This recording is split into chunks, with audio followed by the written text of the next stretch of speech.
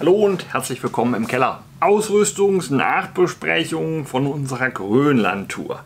Für diejenigen, die es interessiert. Wichtig, nur für diejenigen, die es interessiert. Das Ausrüstungsgelaber, es hat seine Freunde, es ist aber nicht für jeden und für den es nicht ist, der braucht sich ja auch nicht angucken. Also dann, ne, bitte, ich bin euch nicht böse, wenn ihr es nicht anschaut und bin euch schon gar nicht böse, wenn ihr nicht einen Kommentar schreibt, in dem drin steht, dass ihr es nicht anschaut.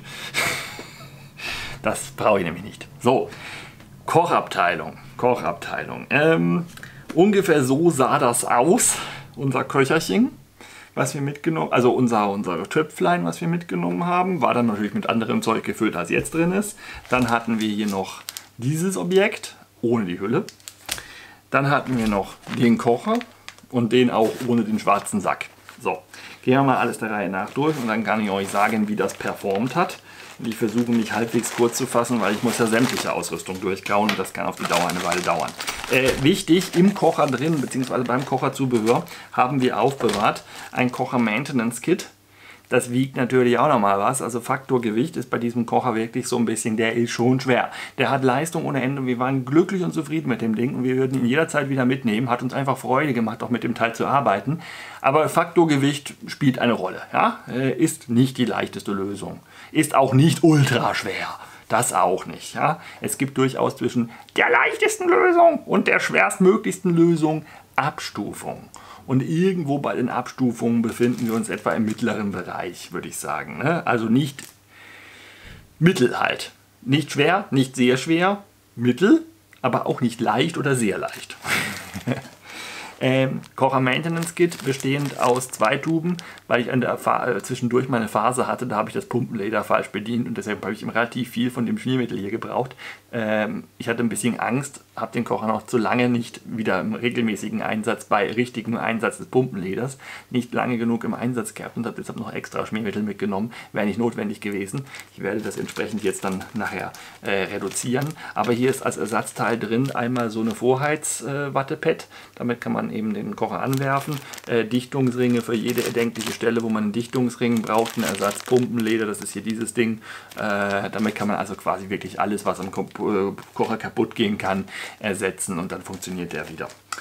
Außerdem war im Kochzubehör drin, um das kurz zu erwähnen, unser generelles Reparaturset. Das wiederum ist deutlich äh, sehr leicht ausgefallen. Ähm, eine Zange braucht man eigentlich mindestens, um Zellstangen, gebrochene Zellstangen richten zu können. Dafür ist eine Zange eigentlich erforderlich, mindestens wie gesagt. Da wir aber eine leichte Zange haben wollten, haben wir uns für, für dieses kleine Mini-Dingelchen hier entschieden. Das langt tatsächlich für ein einfaches Zeltgestänge noch aus, gerade so. Also die kleinstmöglichste und leichtmöglichste Zange, die man mitnehmen kann. Sie war auch ansonsten für ein paar andere Sachen praktisch und wir haben sie zum Teil auch äh, zum Zwecke der Maniküre verwendet und vor allen Dingen Pediküre. Wer mal lange Zeit wandern war, weiß, Pediküre tut Not, ne, damit man nicht so viel Schmerzen am Fuße hat. Und da ist so eine kleine, die, äh, kleine Schere durchaus hilfreich, eine kleine Nagelfeile ist dran, noch ein bisschen Schraubenzieherzeugs und so weiter. Ähm, außerdem war da mein Flickset für meine Isomatte drin. Das sind hier diese weißen Dinger, die sind da auch immer noch drin. Äh, wir hatten ein bisschen Panzertape und da ist gar nicht mehr so viel übrig. Wir haben hier nämlich gebraucht etwas Sekundenkleber und zusammen mit der Zange und dem sowieso beim Zelt noch äh, dabei sich befindenden Zeltreparaturkit, wo außer der Zange eigentlich alles dabei ist, was man zum Zelt reparieren so braucht, ähm, hat uns das gereicht. Ja? Dass am Rucksack irgendwelche Schnallen kaputt gehen. Davon darf man nicht ausgehen, beziehungsweise braucht man nicht ausgehen, wenn man einen sehr massiven Rucksack dabei hat, der hebt. Der hebt auf 5, 6, 7, 8, 9, 10 Touren und bei der 11. kann man überlegen, ob man eine Ersatzschnalle mitnimmt, aber selbst das ist Quatsch. Ne? Also da kann man sich dann schon auf seine Ausrüstung verlassen, meiner Meinung nach. Deshalb reicht, meiner Meinung nach, und das hat auch gereicht, ein wirklich sehr rudimentäres Reparaturkit. Außerdem hat man noch ein Nähset dabei. Das haben wir sogar gebraucht, äh, zweimal. Einmal hatte ich einen kleinen Riss in der Hose, nichts Schlimmes. Ähm, aber Evelyn hat es mir genäht. Herzlichen Dank. Und für irgendwas anderes haben wir es. Ach ja, sie wollte, äh, sie hat die Nadel gebraucht, um sich Blasen aufzustechen. Ähm, da kann man ja auch wirklich sehr getrennter Meinung sein. Ich zum Beispiel lasse meine Blasen immer ganz und warte, bis sie halt verheilen.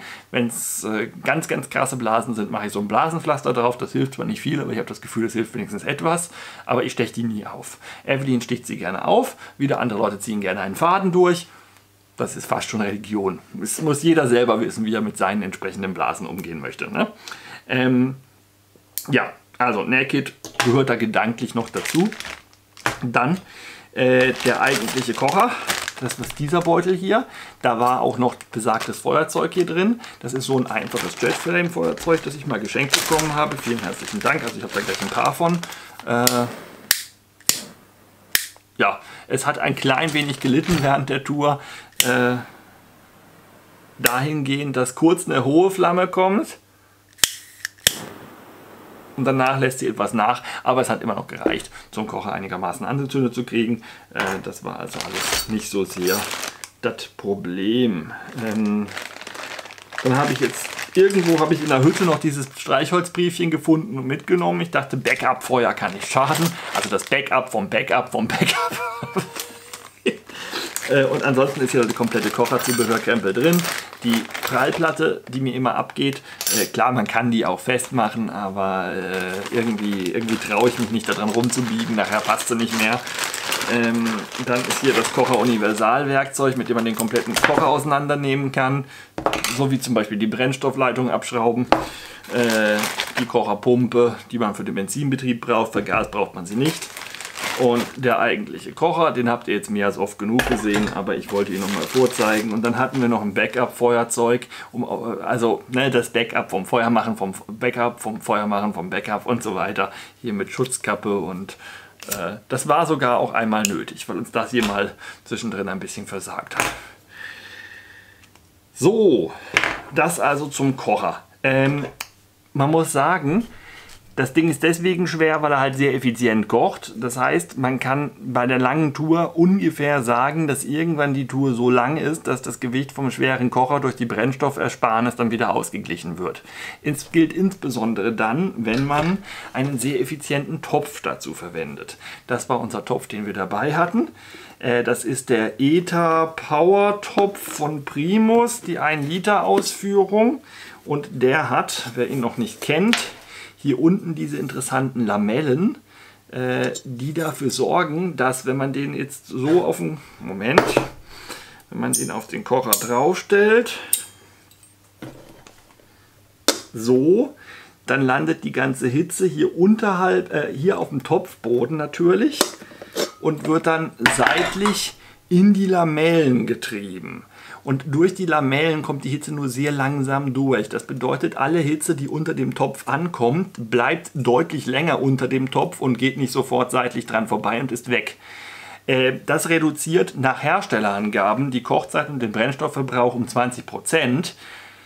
Nach unseren Ergebnissen in Grönland äh, 30 bis 40 Prozent ungefähr, also etwa 35 Prozent. Ich vermute, das ist umso effizienter auf so kleinerer Flamme man kocht und je kälter es ist, weil dann der Brennstoffverlust um den Topf drumherum umso größer wird, je kälter die Außentemperatur. Und bei den doch recht kühlen Temperaturen, bei denen wir dann meistens abends gekocht haben, da wird es im Schnitt sowas um die 6 Grad gehabt haben, äh, hat das schon sehr, sehr, sehr gut funktioniert. Äh, der Topf ist jetzt in der Ready-to-Use-Konfiguration jetzt für mich, zu, für mir, bei mir zu Hause, jetzt nicht für Grönland ausgestattet. Äh, viele Leute stört der Deckel, der ist aus Kunststoff. Der hat jetzt nichtsdestotrotz etwa 30 Kochvorgänge oder den kleinsten irgendwie Kratzer oder die kleinste Form von der wird spröde, der ist porös und so weiter. Hat er alles komplett ohne jede kleine Beanspruchung äh, überstanden. Der ist noch genauso gut wie neu. Ich weiß nicht, woher ihr diese Information habt, dass der irgendwann spröde werden soll.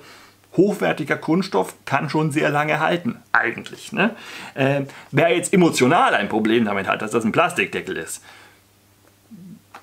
ja, das ist dann halt so. Ne? Das kann man haben, das muss man aber nicht. Und rein funktional gesehen funktioniert er sehr, sehr gut.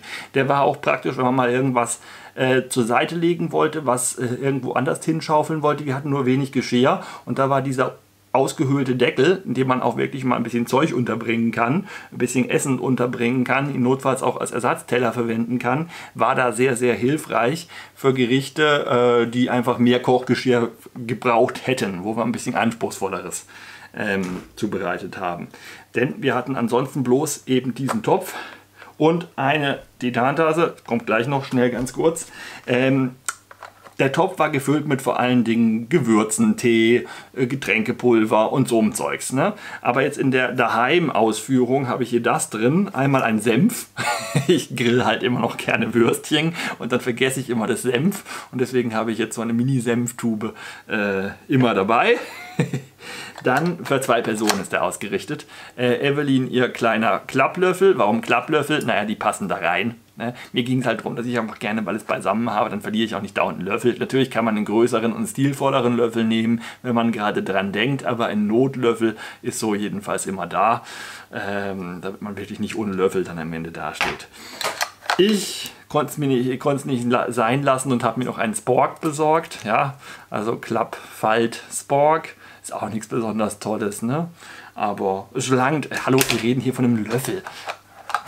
Also der Kult, der teilweise um Löffel gemacht wird. Ich habe da, als ich noch jünger war, dran teilgenommen. Inzwischen, nee, kein Bock mehr. Dann habe ich immer noch drin ein kleines Gewürzdingelchen hier, also diese Track and Eat Gewürz, äh, Mini-Gewürzstreuerchen, die kennt man. Davon habe ich gefühlte 20. Nicht ganz. Äh, ich brauche nicht noch mehr, danke. ähm, und, und, und da habe ich hier noch einen kleinen Mini-Gaskocherlein. Das ist, den kennt man inzwischen auch. Das ist der äh, GR, BRS äh, China-Kocher, mehr oder weniger. Äh, der ist ein bisschen klapprig und ich frage mich, wie lange der wohl noch halten mag. Aber bisher, die Performance ist super. Ja? Der wiegt halt nichts, der wiegt gefühlte 25 Gramm, irgend sowas um den Dreh, lass es 30 Gramm sein, äh, mit der Hülle dazu von mir aus noch. Ähm, aber für den normalen Hausgebrauch, für den normalen Einsatz in Deutschland auf eine expeditionsartige Tour möchte ich ihn nicht mitnehmen, aber äh, in Deutschland absolut top. Ne? Aber wir hatten ja eigentlich diesen hier dabei, ja. Das ist jetzt, wie gesagt, nur meine Alltagskonfiguration. Dann passt dann auch wunderbar eine 100 Gramm Gaskartusche rein und zum Spülen noch zwei solche Aufquellpapiertücher, äh, also die nicht aus Papier, Viskosetücher, Baumwolltücher zum Saubermachen gleich. Ach ja, und das Ganze ist in dieser Schüssel. Die hat noch den großen Vorteil, dass man eben Dinge im Topf verpacken kann, ohne den Topf zu verkratzen, weil der ist anti-haftbeschichtet und das funktioniert tiptop. Also die Anti-Haftbeschichtung ist einfach nur super. Da ist uns noch nie irgendwas angebrannt. Äh, und den haben wir jetzt echt. Also ich habe ihn viel benutzt, bevor ich nach Grönland bin. Habe ich mir Mühe gegeben, ihn viel einzuweihen und viel zu nutzen. Und in Grönland haben wir ihn ja täglich mehrfach verwendet. Äh, alles, was wir gekocht haben, haben wir auf dem Ding gekocht und war alles super. Und wir sind begeistert. Wir sind schlichtweg begeistert. Vor allen Dingen eben noch die Brennstoffersparnis und wie schnell das geht. Jetzt kann man ja sagen, ja gut, ist ja egal, ob das Wasser in drei Minuten kocht oder in 20, ich habe draußen ja Zeit. Ja, aber wenn es draußen so richtig kalt wird und Evelyn schon im Zelt liegt und äh, man noch draußen ist, um noch die Küche zu machen und langsam die Sonne untergeht und es wird wirklich spürbar jede Minute kälter. Das ist auch sehr bemerkenswert in der Arktis, wie es dann, wenn die Sonne dann mal wirklich weg ist, schlagartig wirklich kälter und kälter. Sonne geht tiefer und im gleichen Maß kälter, kälter, kälter, kälter, kälter, kälter, kälter, dann ist sie weg und dann ist es auch kalt.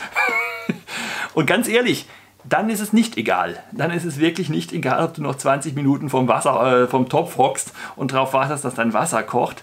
Dann bist du wirklich froh, dass dieser kraftvolle Kocher, den man theoretisch also auch mit voller Kraft betreiben kann, das habe ich selten gemacht, um Brennstoff zu sparen, in Kombination mit diesem Topf unglaublich effizient ist. Ja? Beides zusammen ist schwer, aber ich hatte euch vorgerechnet, bevor wir los sind, wie viel Brennstoff ich denn kalkuliere, beziehungsweise wie viel Brennstoff ich kalkuliert hätte, hätten wir Spiritus genommen. Hätten wir Spiritus genommen, wären wir mit mindestens zwei Litern Spiritus losgezogen. Es hätte übrigens unterwegs auch wenig Spiritus zum Nachtanken gegeben. In den Hütten lag nämlich teilweise durchaus Brennstoff rum, aber Spiritus nur in den ganz, ganz, ganz, ganz, ganz, ganz, ganz, ganz großen Hütten. Ähm, Gas gab es fast überall, Benzin mit am zweithäufigsten. Also äh, jede dritte Hütte ungefähr gefühlt hatte noch einen Benzinvorrat. Äh, war nicht notwendig, wir haben dann immer den Gasvorrat haben wir ein wenig benutzt, einfach weil, weil ich Angst hatte, dass uns der Brennstoff nicht reicht. Ich bin ja Brennstoffparanoiker. Tatsache ist, als wir dann angekommen sind, äh, zurück in der Zivilisation, hatten wir von 800 nee, 900 Millilitern Brennstoff noch circa 400 Milliliter übrig und wir hatten noch mindestens äh, eine ein Drittel Gaskartusche. Ja? Also äh, wir haben ungefähr die Hälfte vom Benzin verbraucht und zwei Drittel Gaskartusche. 200, äh, eine 200, äh, die etwas größere, die 1 größere Gaskartusche, ne? die 220, 22 äh, Gramm Gaskartusche. So, äh, wie gesagt, wir haben ein bisschen das Zeug aus den Hütten verwendet, aber wir haben gegen Ende der Tour hatten wir noch einen Fund von Extraessen, äh, haben wir besonders viel gekocht und das hat sich damit also eigentlich ungefähr wieder ausgeglichen. Und das heißt, die Effizienz von diesem Kochsystem ist für kalte Temperaturen insbesondere sogar noch viel größer, als ich mir eben gedacht habe, als ich ursprünglich vermutet hatte. Ähm, das heißt, das Ganze war definitiv eine leichte Lösung. Es war vielleicht nicht die allerleichteste Lösung. Leichter wäre möglicherweise wirklich dieser Mini-Kocher hier mit einem Titantopf gewesen. Möglicherweise, aber andererseits ist die Frage, wie lange dauert es dann, bis das Wasser dann kocht. Das hätte wahrscheinlich wirklich erheblich länger gedauert und man hätte erheblich mehr Brennstoff gebraucht. Der Ire, der das Ding super schnell gelaufen hat und uns am vorletzten Tag überholt hat, der hatte eine 220 Gramm Kartusche, also die eins größere als die hier, und so einen Mini-Kocher und einen Titantopf dabei. Der hat in fünf Tagen seine Gaskartusche geleert. Nicht, nicht ganz. Also am vierten Tag abends war sie wohl leer. Dann musste er an der nächsten Hütte, da hat er uns getroffen, sich eine Gaskartusse, die da noch rumlag, schnappen, um sich seinen Kaffee machen zu können, damit er weiter kann. Und Kaffee kommt er wohl nicht weit. Äh, der Mann war total krass, aber er ist abhängig von Kaffee. Er hat auch einen Schwachpunkt. Niemand ist perfekt. ähm, worauf ich hinaus möchte, vier Tage hat der alleine eine 220 Gramm Gaskartusche durchgebracht mit so einem Kochersystem. Ja? Wir haben unsere 220 Gramm Gaskartusche zu zweit in sechs Tagen nur zwei Drittel leer gemacht. Und wir haben die andere Zeit äh, Benzin benutzt. Und davon haben wir halt irgendwo 400 Milliliter oder was verbraucht. Und wir haben dann wirklich ordentlich gekocht. Auch gerade mit dem Benzin, da haben wir wirklich ordentlich gekocht. Extra Mahlzeiten, weil wir ja noch Proviant in der Hütte gefunden hatten. Und gegen Ende auch noch damit gekocht und gekocht, gekocht, gekocht. Also die Ersparnis, also der Brennstoffverbrauch im Vergleich zu einem regulären Gas, Gaskocher oder zu Spiritus oder zu meinem alten Benzinkocher vielleicht im Vergleich, ja, von diesem Kochsystem beträgt ungefähr 30 bis 35 Prozent in Darkness. Und das spart dann wirklich Gewicht. Ja? Hätte man das vorher gewusst, hätte man auch erheblich weniger Brennstoff mitschleppen müssen. ähm, also für die Zukunft weiß ich, dieses System, was ich mir als super effizient überlegt hatte, ist super effizient. Ja, definitiv. Also wir sind begeistert und das Kochen hat Spaß gemacht. Das war immer absolut zuverlässig. Er ließ, er ließ sich immer super einschalten. Morgens wie abends hatten wir nie Probleme. Äh, bei schlechtem Wetter, bei starkem Wind gab es einmal einen Moment, da hat es ein ganz kleines bisschen länger gedauert, aber dann war alles gut. Und in Kombination dazu, diesen Windschutz war auch tipptopp. Der hat super, super funktioniert und würde heute noch viel besser aussehen, wenn ich nicht mal irgendwann draufgetreten wäre. Das muss man natürlich vermeiden. Das Ding ist schon so fragil, dass man nicht drauftreten sollte. Es ist nicht so, dass er sofort kaputt ist, wenn man drauftritt. Und er hat einen Nachteil, dass er kurzfristig Lärm produziert, wenn man ihn am Topf anbringt. Ist er dann aber beim laufenden Koch, äh, Kochvorgang in Betrieb um den Topf, dann macht er auch keinen Krach. Ja? Also da kann auch noch so Wind gehen. Das ist so eng um den Topf, sitzt das dann, dass es dann keinen Lärm produziert. Also beim Ein- und Auspacken macht er Krach beim um den Topf drapieren macht er auch noch mal ein bisschen Krach und danach ist aber leise. Ja? Und warum macht er Krach? Weil er halt ein dünnes Titanblech ist.